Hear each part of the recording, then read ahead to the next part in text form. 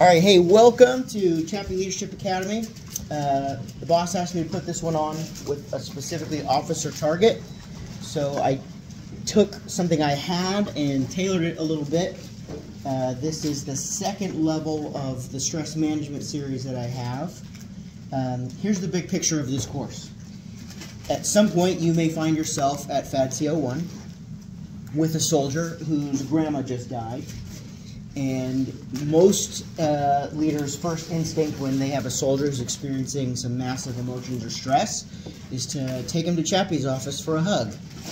But if I can't get to FADC 01 in 10 minutes, um, somebody else is going to have to make sure soldier gets to that significant stressful event.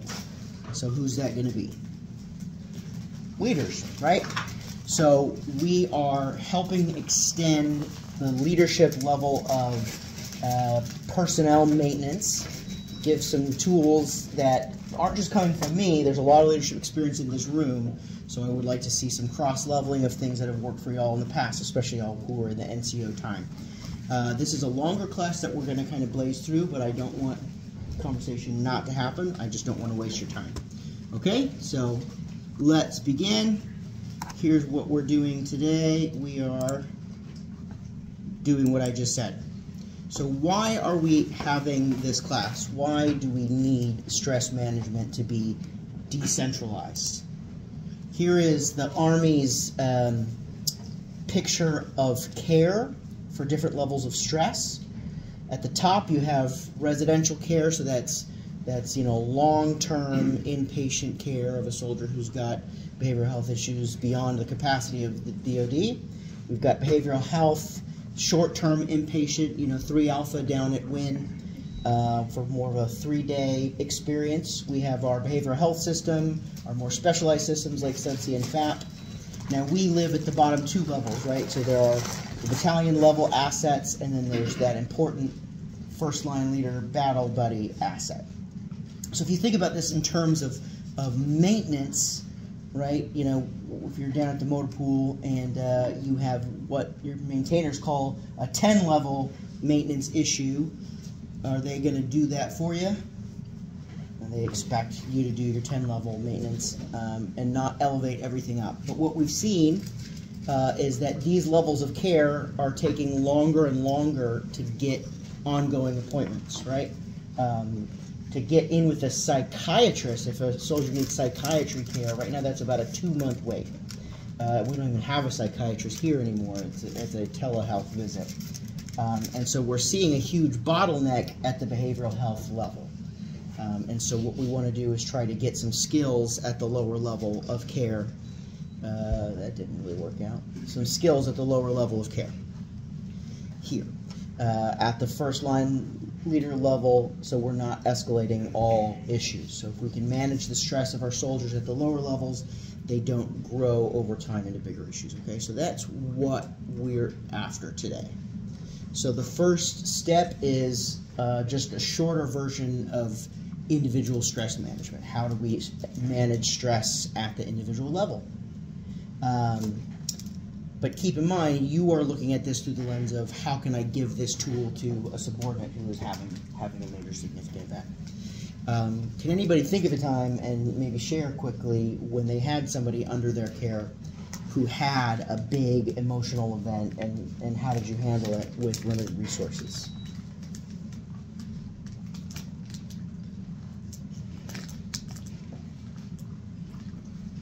Wow, that's Yeah, uh, so when I went down to CO1, there was, so at mid-tour, there was a new group coming in. um, And one of them, you guys, one of the soldiers you know, uh, Brianna Ortiz, um, she came down as a, as a backseater. And, um, she didn't know at the time that she was pregnant. Mm. Um, so she gets down, and she, does what women do, you know, stick, right, and figure out that they're pregnant, so. At some point, she suspects she's pregnant, finds out she's pregnant, she's, it's like day three down there, so I had a decision of whether or not I put her on the airplane, because she had already done a progression flight. And in case you guys may not, I'm not gonna get into the backseat equipment and, and like the band frequencies and whatnot that it emits.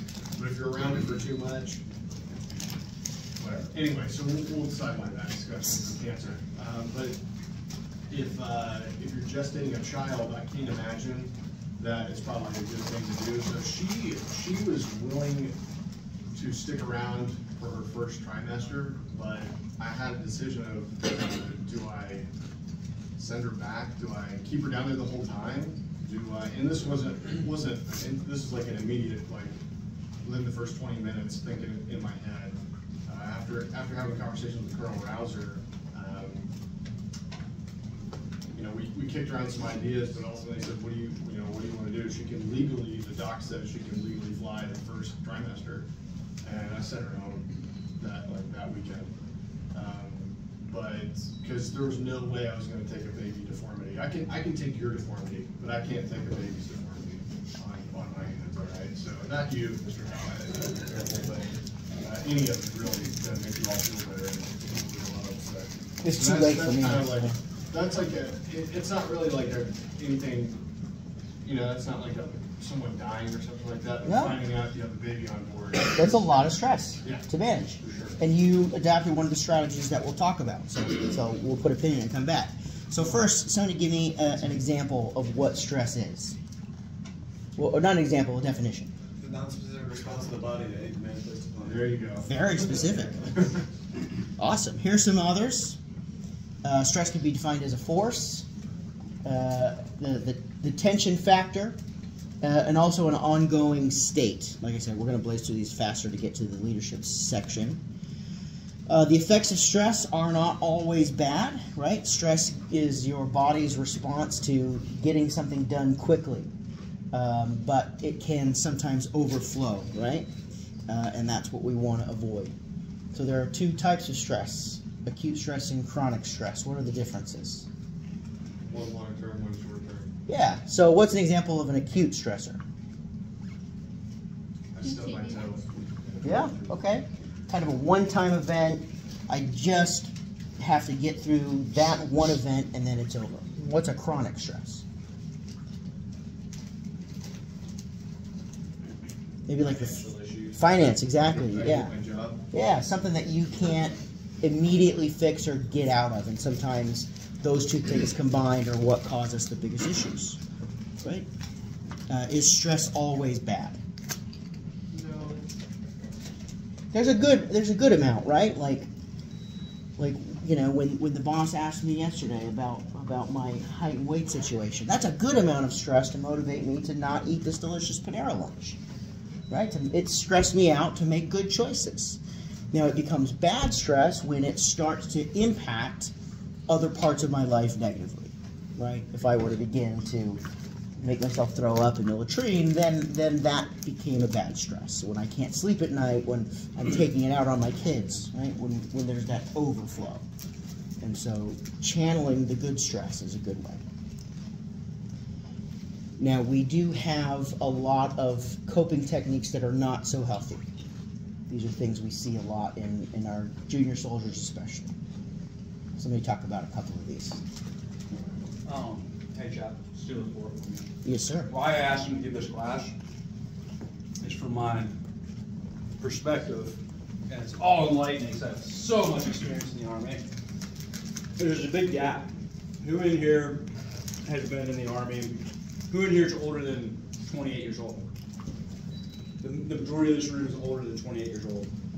Um, I'm seeing that 25 year olds and under which is about 70 or so percent of the formation, something has changed in the public school system, in parenting techniques, and, whatever it is. Something's changed in the American culture that, for the most part, 25 year olds and below don't have the ability yet to recognize stress what it's doing to them, how it's causing them to behave, why are they not thinking clearly, you know, um, why are they not performing as good as they did six months ago, whether it's at their job, whether it's at PT, whether it's at their hobby.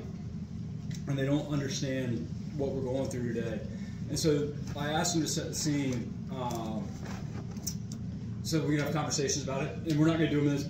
Hopefully, we'll have some. The idea is that you guys leave here and have conversations about it, and the, the idea is that you engage with the 25 and below population, wherever that line falls, and have these conversations. Start that education process throughout, uh, because unfortunately, the second half of our society right now um, doesn't value life, and whatever you want, political, religious, whatever you want to take that, it is where it is. Uh, and there's like these really, I have kids that are that age of they're allowed to have screens. And it's really fucking scary when you read the, the uh, postmortems of how a teenager commits suicide or how a service member commits suicide. I don't want this class to be like suicide prevention. That's not what we're here to talk about. We're, we're here to talk about well left of that and having a healthy, productive climate. But the unfortunate reality is that the time it takes from a, a young soldier or your own child or your best friend to go from just not being able to deal with stress to the answer being suicide has really decreased a significant amount of time. There's a lot of studies on it. And the Army suicide prevention thing, the care card, ACE, and all that, like we, we kind of spooled that up for a little bit. Maybe it helped, maybe it didn't. I don't know. There are a couple things that, um, so that's the scene setter for why we want to do this. So if we're going to talk about coping techniques, yes, I was picking on him yesterday for a second. Wait, I also assess that our relationship, we have the rapport, that we can have that conversation, and that he's not going to go bulimic on me. Um, things like that. But it, it really comes down to knowing your soldiers. I'll get off my soapbox and sit down and let you guys take over the class. With one last story to set the scene. 15th MI, sister sister battalion. Um, soldier leaves a group chat. Two NCOs kind of know the soldier pretty well. Like, all right, whatever. Soldier is not at PT the next morning at 6:30. Um, I have a hard time with suicide, so I might cry. Uh, so those two NCOs took those two indicators and didn't say like, hey, you know, we'll go find him after PT or like, hey, we don't have to send it PERSTAT till nine o'clock. They were just two anomalies, and they knew their soldier well enough to be like, fuck, yeah, we gotta go find this dude. And they found him in a car with all the tools he needed, and he would not unlock the door. So they had to break the window and get him out of the car. They took him to the emergency room. He's in inpatient care at the top of that pyramid that we're talking about. But the fact of the matter of these classes and stuff, again, I don't want to be a suicide prevention or suicide awareness. I want it to be a healthy leadership discussion. Knowing your people, knowing having that, those NCOs actually know their soldier to the level that like people can leave group chats and get picked on. Ah, no big deal. You you could easily wash either of those indicators away if you don't just fucking know your people. Um, so that's a big part of it. And then I, again, so that being the worst day that I hope to God we never live through together. But let's let's talk left of that, and let's just talk about peer to peer. There's there's different techniques and things, um, as well as a lot of who's a warrant officer in here, who's a pilot in here. How many soldiers do you talk to on a daily basis? All. No, like how many like junior enlisted soldiers do you guys see on a daily Two, basis? two, three, maybe. It's, it's generally like the same one or two. Okay, so maybe some of this stuff it isn't here, but maybe it is applicable is peer to peer, right? And maybe it breaks down a little bit of a couple of barriers that you guys peer to peer can have conversations. A lot of the chron- uh, chaplains said, "What's chronic stress?" For me, chronic stress I literally wake up at night is air, airframe divestment. It fucking keeps me up at night, and there's absolutely nothing I can do about it. The Army's going to give and take our equipment. I can I can advocate all day long until I'm blue in the face, but I still lose sleep over it. It's fucking wearing on me 14 months into command. And I'm on the backside of the way out, so it doesn't really affect me. You guys, on the other hand, that's a legitimate fucking stressor that we're all just kind of like washing away.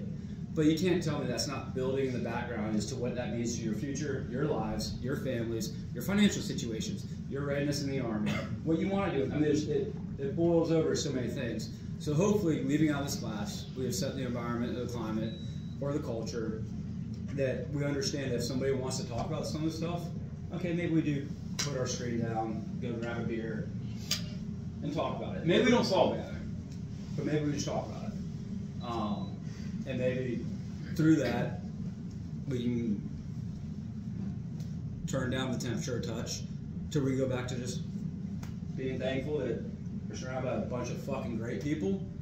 We're in a fucking great place, and we're in the best fucking army in the world.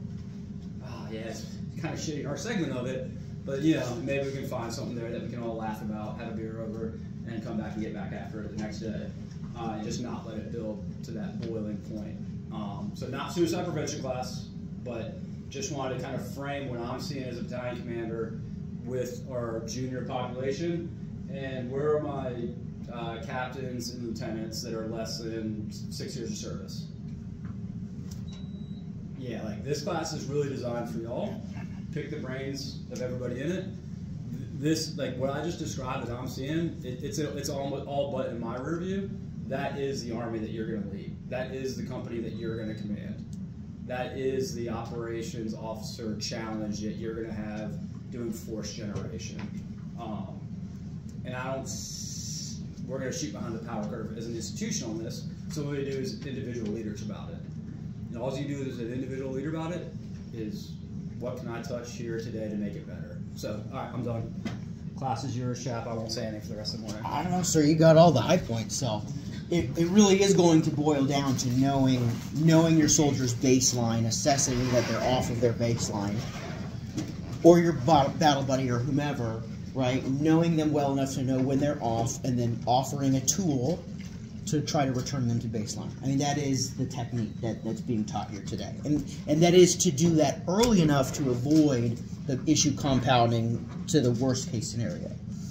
Um, we can't control everything. We can't control everybody's actions, but I do firmly believe that if there's enough of an early uh, uh, intervention, um, that those issues don't compound. So thank you, sir. Uh, harmful coping techniques. Does anybody have anyone on here that, that I'm missing? I think maybe a sister to overbooking is is uh, workaholism. I think that that is one in the officer corps that's going to be different than, than maybe some of our younger enlisted friends. Workaholism is is a stress uh, a stress reliever in some capacity, especially if your stress is at home, right? And you want to avoid that stress, so you, you dive into your work stuff. What do you think is the battalion's biggest problem from the brigade's perspective? Uh, since I'm talking to, to leaders here. D-rugs. There you go. Yep. And so it was pressed upon me that this is this was one of the ways that I offered up to the brigade chaplain to, to tell his boss how we're getting after the battalion's drug problem, which is solving core issues, not you know the DARE program. Okay. So we're gonna get give these are the five quick tools at the individual level before I get to the leadership. The five tools that we're gonna offer to uh, deal with stress. So when someone is having a stressful situation, here are the five techniques. We're going to teach avoiding the stressor, altering the stressor, adapting to it, accepting it, uh, and then the one prerequisite, which is adopting a healthy lifestyle before you get there. So the first one is avoiding unnecessary stresses. When can you just take that thing out of your life? When are you adding too much stress to you that you could ultimately just get rid of? Um, does anybody can anybody think of an example of an unnecessary stress that maybe a soldier or you've experienced that you know you just just delete it and be done with it? I have an example, but I want you guys to tell. Maybe not necessarily a stressor, but more of a distraction. I know like a lot of social media platforms. stuff like Great. Yes. So thank you. That's exactly the one I was going to use. So when I was in Korea, a lot of these younger soldiers would be so depressed because Sally back home is taking pictures on Instagram out with the boys and she's not telling me about it and we're fighting about it and I can't stop looking at Instagram. And so I would just say, then delete Instagram. Focus on your relationship. And if that is causing you stress, just delete the app. Excellent example. Thank you. Uh, we'll keep going just to get to the leadership portion. Okay, can we change your situation? Can you alter the stressor itself? So I have a lot of things that are causing me stress. How can I change it to make it better? How can I change that relationship to make it better? How can I change whatever that thing is that's causing me stress? Can anybody give an example of something that causes stress that can be changed? I do this for myself. I have, uh, I think I've told a couple of you about this. I have a 15 minute time limit on Facebook every day. It's good. And once it hits that limit, I don't go back on it. It's. Yeah. My, my current stressor, here's what I changed. I have my wife pack my lunches now. So it's packed a little bit more smartly. See? Although she cooks dinner, which is really the cause of the problem, but it's her fault. it is, I blame my wife. Now, some stressors cannot be changed, cannot be taken away, so they have to be adapted to in the moment. So, how can you adapt yourself to fit the stressor? I have an example, but does anybody have, have one that they can share of, of something that's a stressor in life that you can change yourself to fit? Got. You got a mustache. Yeah, give- You got. Yeah, give me some. I told you, you ate my bribe, so you have to participate. That's the contract.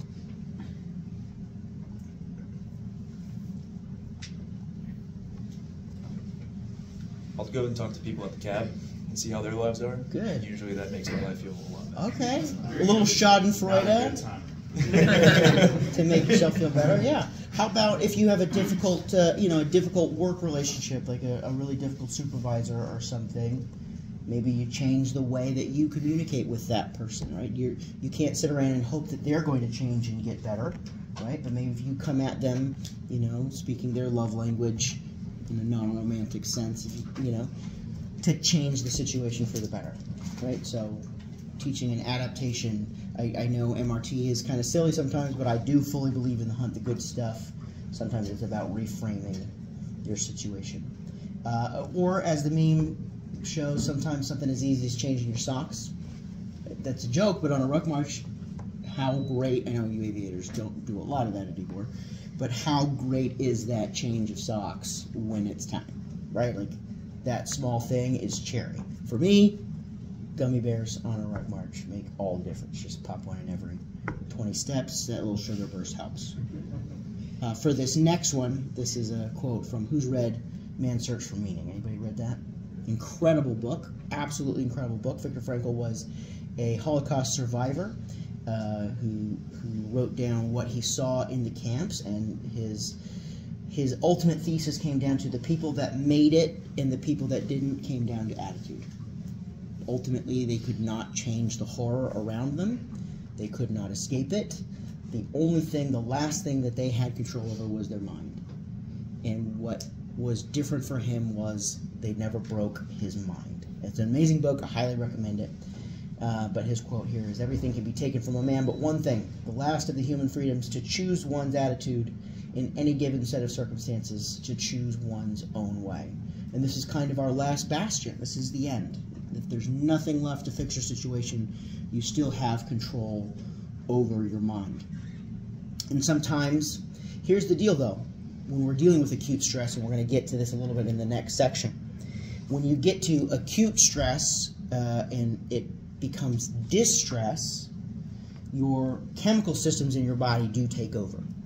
So your brain functions less at the executive level and it moves down into the uh, irrational level and then down into the survival level, depending on how bad your stress is. So you can't always think your way through problems. So sometimes you have to learn techniques to bring your brain, or in this case, your subordinate's brain, to help bring them out of survival brain back to rational brain. Does that make sense? That's just chemicals. That's just how this machine is built. And so there are things, the, the mindfulness thing, people laugh at it, but there truly is something scientific about experiencing different physical sensations. So people have like, you know, stress balls that they squeeze or different things that they smell that return their mind from the, the chemical loop on the problem down here in the survival brain and slowly bring them out into their rational brain. That make sense? There are scientific terms, but this isn't a science class. Not the amygdala. Okay, um, so sometimes uh, bringing someone out of stress is really about reducing the inflammation of that chemical flush of cortisol, right? Getting them through that chemical flush, which takes 20 to 30 minutes for your brain to process a dump of cortisol. So it goes through you, it's what we call fight or flight, right? That cortisol dumps in your brain, it gets in your blood system, your heart rate goes up, uh, all different other physiological things are happening to you in 30 minutes, that thing has changed. The problem is the younger kids will seek a harmful coping mechanism during that cortisol flush, like excessive alcohol or, you know, physical rage or whatever, and that kind of the, what the opposite of a golden window is uh, gets sidelined. So how can we get our subordinate through that 20, 30 minute cortisol flush back to where they're thinking? Does that make sense? So that's what this this slide is all about. Does anybody else have anything on that one? Any practices for how to stay in the moment? Actually, the age-old drink water and drive on. Yeah. Drinking water is one of the ways that resets your breathing pattern back to the baseline, and so it Yeah. can potentially reduce your stress in the moment by just taking a sip of water. It's actually an interview and interrogation technique to drink water before you respond, so that you don't get too excited or whatever. You can take that, Alex, for. Oh yeah, I guess if you've been through SERE, you, you've gotten a couple of these, I would imagine. Um, the practice of box breathing. and you may know box breathing, right?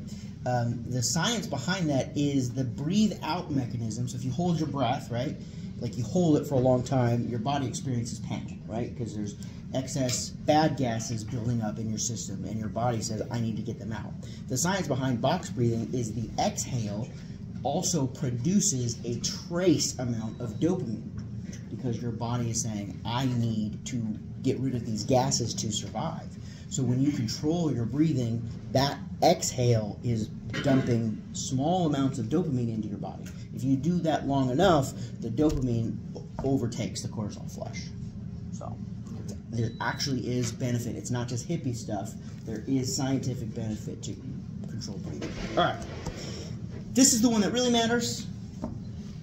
Prepare for the stress before it comes, right? If you're the kind of person who has prepared for stress, then when stress comes, it's more available to you in the moment. You have more tools available to you in the moment. For example, sleep. If you're taking a big exam, when is your most important night of sleep? Amen. Two nights prior. It's not the night before, right? It's two nights prior. Exactly right. So, are we as leaders doing that PMCS on our soldiers, on our battle buddies, to make sure that they have enough resilience built before the bad thing happens? And so, as a leader, this is something we'll get into later. Are you checking on those things before you need them in your soldiers? Good relationships, good finances, good self care techniques, um, those kinds of things. All right. And we'll skip that one and we'll move on to the, the good part leadership, stress management. So, why is it important for leaders to be involved in the stress of their soldiers? What do we get as an organization when leaders are actively involved? better organization. How so? If the, the force is healthy, then we can achieve whatever we need to achieve. Okay. If they're not, then we're gonna be focused so much on making sure that they're okay and expending resources into taking care of them rather than doing what we're supposed to. Good. So, less of the negative, we get more of the positive. What's the positive benefit? Efficiency. Yeah, we talked about this in my last class. Thank you. In the in the uh, last class I taught down at Alpha, we get efficiency and we get trust. Trust is the currency for leadership. If you've been in any of my other champion leadership academies, I'm big on teaching organizational trust. The Army's rank system guarantees compliance by the point of a gun. Ultimately, you will comply with the legal order, either now or in Leavenworth. Um, but the rank system does not get you that quickly. Trust is what gets compliance, and so uh, that's why we I want us to be involved, and so we can stop our issues rising to the top of the pyramid. So when leaders uh, create that environment early, we get to these problems before they uh, grow, because nobody comes out of the womb and is suicidal, generally generally it's a compounding system of issues over time. Uh, and also, again, chemically, brains that are in stress mode for too long create maladaptive patterns for getting out of stress later on. The longer you're in stress, the harder it is to get out of stress. So, if we teach our soldiers to get out of stress quicker, then it's easier for them to get out on their own later. Does that make sense? Awesome. So what's the difference between these two guys? Is it any of these factors? That's the one, right? But really, well, what's the difference? Captain Sobel was not unskilled.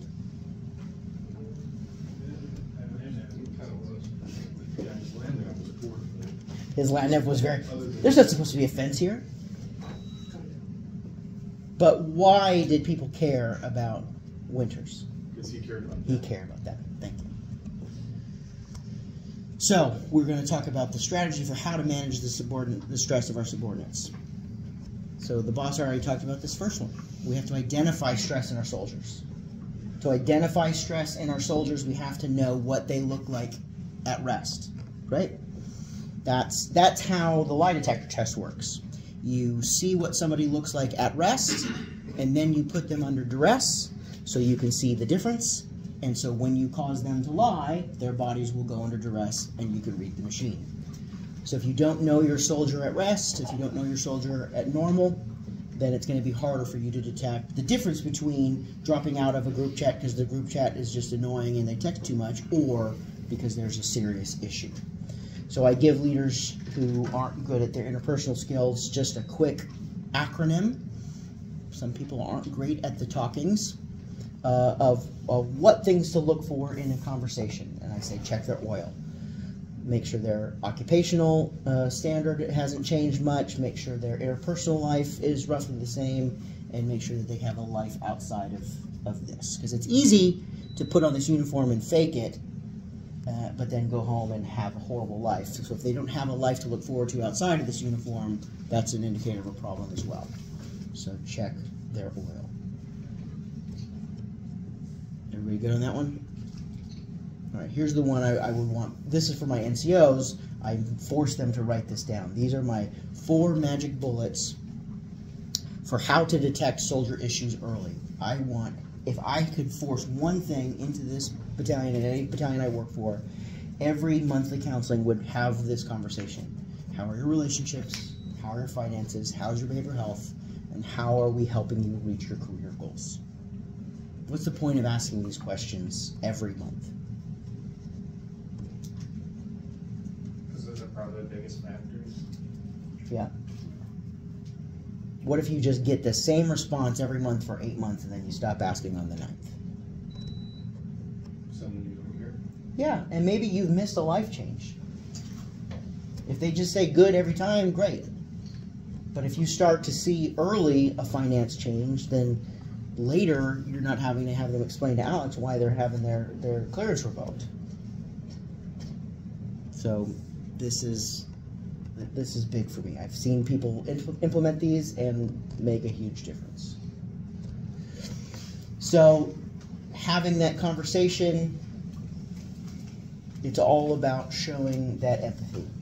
Now, some of you have been through my empathy class, so I'm not going to make that one go longer. If you haven't been through my empathy class, I'll do it again before I leave. I recommend getting in on it, but it's all about how to have that open, engaging conversation. It's not about softness, it's not about hugs. Uh, not Chaplain is not a hugger, right? But it's about making sure that communication is actually two-way communication. But is a soldier going to automatically trust you? Never. So what do you do when they don't want to open up to you when you do ask those questions? Oh, I gotta change that font. That's a little small. So they just say, I'm fine, but you're noticing things. You're noticing that they're late. You're noticing they're, you know, yelling on the phone on their break or furiously texting It might just be like a change of like tone or intention, so they might be like reading you as like, oh, I'm gonna get in trouble. yeah. Um, you know, he's, he's noticing I'm showing up late, rather than like, hey, I'm really concerned for you, like, is there something going on, how can we help you? You know, Yes. More efficient. Awesome. Absolutely right. So, how are your nonverbals? How is the tone? How's the environment? Are you asking down at the motor pool while there's a bunch of people around? Or did you kind of create an environment where there's more of a uh, trust there? Excellent. Anyone else on this one? At the end of the day, though, this is not an interrogation. I know the Army doesn't treat us as such, but these are adults. So you can't make them say something that uh, they are not going to say. But as long as you can look in the mirror and say, I've done everything I can to create a trusting environment with integrity, and you're not just saying, come to me if you need something. There are a lot of leaders who think it's good enough to say, hey, my door's always open, come to me if you need something. Why is that not sufficient?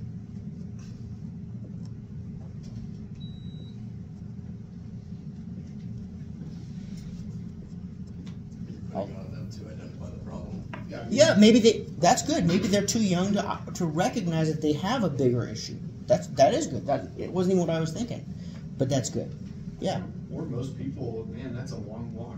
Yeah, That's a long walk to your boss's office to talk about how you have something going on at home or yeah. something like that. And leadership, right? It's not it's not just about the rank and the pay, right? But it's about the life experience too. You've walked the road a little bit longer, so you've got something to offer. And a lot of soldiers also have been burned by the army system. You know what I mean? Like they've they've had leaders in the past who've burned them, and so you are overcoming some of the leaders of the past. I mean, who among us have had really crappy leaders in the past? Yeah, especially if you were enlisted in your younger days, right? There was a different culture. Um, well, the big army has said that's not the way we're doing things anymore. Like it or hate it, the army is saying, hey, we're going to invest in these human beings that have cost the army a lot of money to create as soldiers. Uh, we're going to invest in them long term, which means maintenance is active; it's not passive. Okay. Um, so I think we're really getting at on this one, again, I think there's about six or seven folks that said this class was primarily, my primary audience again is of captains and, lieutenants. Authenticity. I think that's that's what we're really getting at. How do you do this in an authentic way? Um, and it's so, and if you, with lieutenants, I've talked to you guys in your counselings, it's so awkward. I fucking hated being a lieutenant. It's just so awkward. I'm supposed to go to motor pool Monday. I was told to ask, hey Hawk, how you doing today? You like football? You don't like football? I don't have anything to talk to you about. But like, so how, how do you? It, it is. It, it's just awkward. And that, that first like 90 days as a company commander, more so than as a lieutenant, they're definitely not going to want to talk to you. Um, so how, how do you do it in an authentic way? Not going to slow down the class. I would offer uh, for those individuals interested in talking about delivering this in an authentic way when it's your turn. It's your turn every day, to be clear. It's more so your turn when you're designated platoon leader, XO, company commander. Hit up Gray, hit up Anya. Uh, it's most fresh in their minds. Um, and in my opinion, they both did it well when it was their turn to do it. So, um, this point of this class again is to breed conversation out of the class.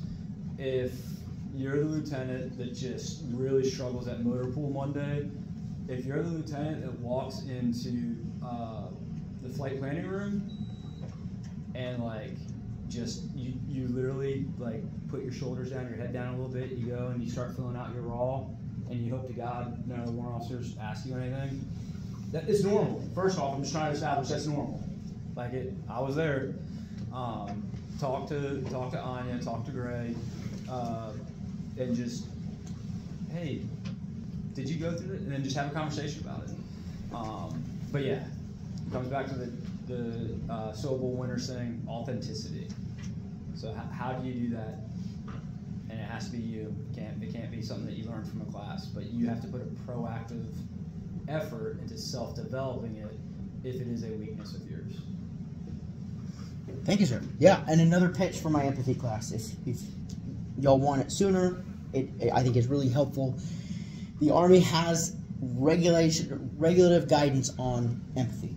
Um, there's actually Army doctrine on how to be an empathetic leader, and it's just not taught. It's required of us. It's on our OERs, right? It is part of the character assessment on your OERs that you've displayed empathy, and so I kind of helped develop some of those tools for people who just don't naturally have it, because not everybody had a good parent or a good coach that taught them how to communicate with empathy, but it is expected of you as a leader. So let's say a soldier does open up, you're ready to hear them. Uh, so how do you not miss that moment? Right? The window is not always open to have a good conversation with the soldier, but if it does open, they do open up to you. They are willing to trust you with the thing that's stressing them out. Now, how do you not ruin it? I've seen a lot of times where soldiers do, you know, build up that courage to have that tough conversation, but the leader just was not ready for that moment. So, are you able to actively, reflectively listen? Not say things like, This is literally a conversation I had an NCO brought a soldier into my uh, office. The soldier was crying. This is when we were in Korea. The soldier was crying because his wife sent him divorce papers. And so the three of us were having this conversation. I'm just trying to calm the soldier down. NCO literally says, Hey, I'm on my third divorce. It's not that bad after a little while. Bro, you are the last person I need giving advice right now, and that is the last thing I need to be said. You, you need to go get us some cokes. He was trying to help right? He he was trying to show that he cared, not the way to do it, right? I was at a funeral not too long ago, and the wife was crying. Literally, somebody who just worked with the husband said, "I know what you're going through. We just lost our dog, and it's been hard to get over." truly happened. So, part of that leadership technique is to be a little bit more thoughtful and prepared with not ruining the moment once they do begin to open up. We touched on this a little bit earlier. Your soldier's stress is too far out of the box. It is not, they are not ready for a conversation. It is not rational conversation time. Right? Now, I'm just going to keep telling Korea stories because I have them. A lot of times I would get, you know, Friday night, soldiers drunk, and they're crying and throwing things, and NCO's just like, ah, I don't know what to do. Chaplain, have it fix my soldier, right? And I would just say, put them to bed. They need to sleep. They need to get out of this mode. Get them a shower. I'm not going to talk them into a new life transition at this moment while they're punching holes in the wall and they're drunk, right? And even if they're not drunk, let's just say it's just, you know, shouting and yelling. And so I had a soldier who was in that mode, started cussing at his NCO in my office, and NCO took that moment to say, hey, you better watch who you're talking to and say that to me at parade rest. I'm like, bro, not the time. Should we address customs and courtesies? Generally, sure. Not the time. This soldier is crying, punching, wants to kill himself. Now's not the time to talk about parade rest, right? Um, now we need to just remove the inflammation. Think of it like, think of stress and distress right? Like you've got a bad splinter deep in your finger. Every time you try to go with it at the tweezers, you just can't get past the swelling. Now, you need to get the splinter out, but you're not going to get there till the swelling goes down, and that's distress, right? We got to get out of the out of the survival brain, out of lizard brain, and slowly rise up into rational brain. So, let the emotions happen.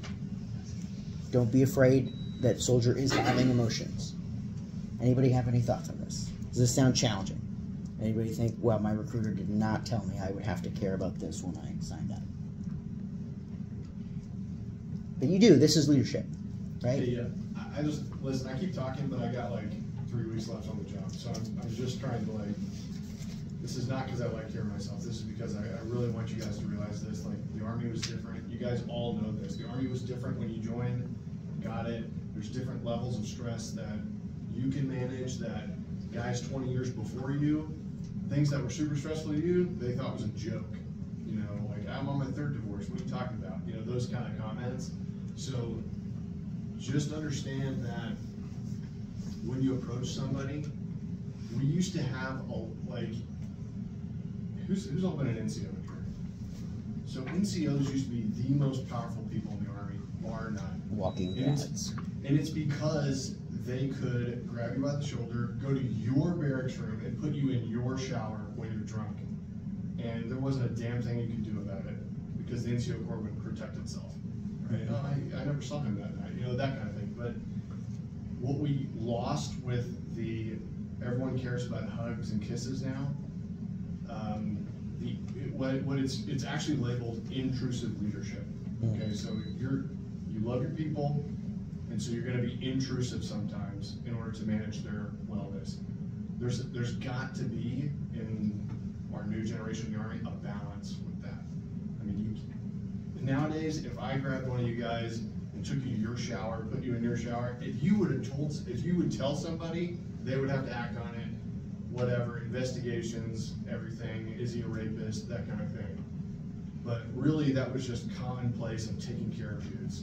So that Korea situation, two NCOs could have grabbed this guy, put him in a shower, and just actually been talking, like sitting by him in the shower, been like, whenever you're ready to get out, man, this cold water will stop, you know, we'll, we'll have a conversation about it. And you can go to bed and we'll talk about it in the morning, uh, that kind of thing. So it, like, it's as silly as it sounds, this is actually the leaders aren't so 18 year old Aaron, or excuse me, 18 year old Washburn loses his mind about something, gets frantic, starts crying, punching the wall or whatever. 25 year old Sergeant Washburn is supposed to talk him off the ledge. So the NCO doesn't even have the capability to respond to the distress. That's what we're talking about here. So it's it's like it's gonna have to be a rapid education of caring about folks. And you're all really good the guys with docs, you're all really good about this because when you go to CO1, and you go on CI, you're already, you know, you, you're not part of the command team, but you have influence on the command team. And you can often advocate for voices.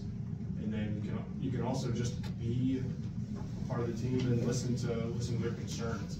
So you have a lot of power to like, I just want to remind you, you have a lot of power to respond to this and teach the NCOs how to respond to it because rarely are you going to be handling the 18 year old, but you probably will handle the NCOs freaking out. You know, especially if they act unprofessionally in front of everyone else, you're going to be the one that pulls them aside. Because Lieutenant Whiting, as awesome as he is, he doesn't have the mileage to do that. And and frankly, you should feel like you have the power to do that. If that makes sense. Sorry, rant complete. No, good deal. Thank you. A little bit of science behind distress is cortisol creates cortisol. So part of the herd mentality of mammals is if you see that fight or flight response in another, your fight or flight response is going to kick off at the same time, right? Because, oh, they saw a T Rex before I saw a T Rex, they're running, I better run. Does that make sense? So, part of the, and this is very true if you're married, like you, you know, you've seen that in a relationship, right? So, part of the leadership skill is don't get ramped up just because they're getting ramped.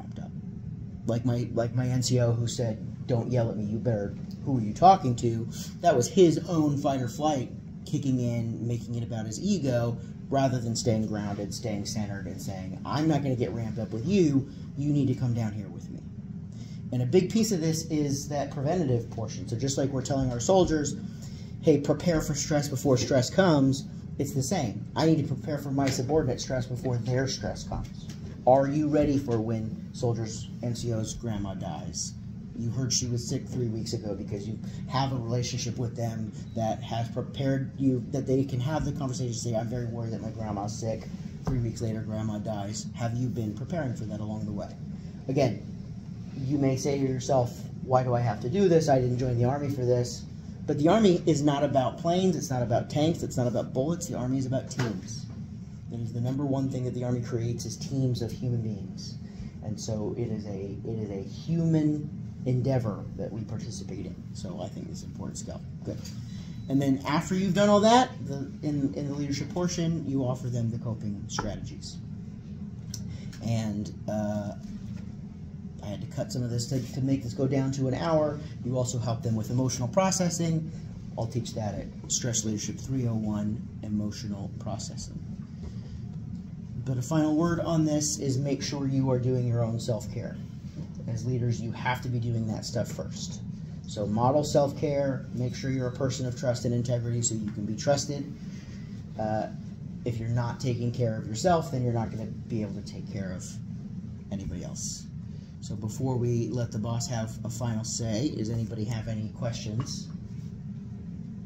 Before I hand it over to him and before I release you, I need three good final analytical thoughts from people who haven't talked. What in this class has made you think, changed your life, something you totally disagree with? I need three, or you're all prisoners here. I spoke already, but there's something I kind of. Fair. say. Just being, being in a position before, having a being able to say something, if you're worried about ruining a relationship with a soldier, if you see something, say something, because the regret of, you know, having an action or maybe ruining, ruining a relationship, I've never heard of anybody getting in trouble from their leadership by saying something, but it wasn't ended up being something that was significant. Yeah. But seeing leaders before having a lot of regret after something catastrophic happened to a soldier or that a soldier did Yeah. severely outweigh any type of action that they could have took, so. Absolutely right. Just always lean on the side of caution, and you can always heal a relationship if you can get people back or kind of forgive them for something really severe. Especially if you have a context. Hey, I'm bringing this up because I saw you do this, right? If you bring up that context, then it's not in- intrusive, right? Very good. All right, that's one. as far as the page about uh, stressors, most of us in here are pilots, and so we could talk ad nauseum about stresses, and you know, it's just something we talk about all the time. So it was interesting to see a different perspective than kind of what we're used to. Very cool.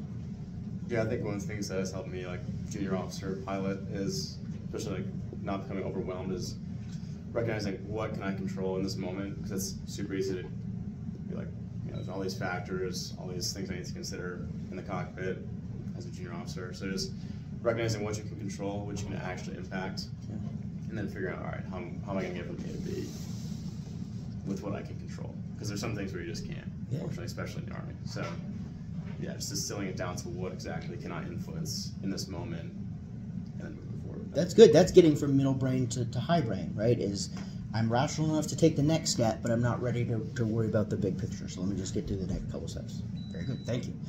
Sir, anything else from you? Thank you. Well done. I don't know if I told you we were captain or not. We can talk about that next time. I mean, I think this is good shit. I think we can relieve time limitations and then just open the door for people to come. If they gotta go, they gotta go type thing. I feel like there's, hopefully, coming out of this, there's, there's conversation. I'll mandate conversation for the, uh, lieutenants and captains and, uh, I didn't know if Greg was here or not, but I'm gonna stick around. Um, and I'll, I'll share some of the things that I wanted this class to be designed towards. To the warrant officers, thank you, um, for coming. I know you probably had a choice to make.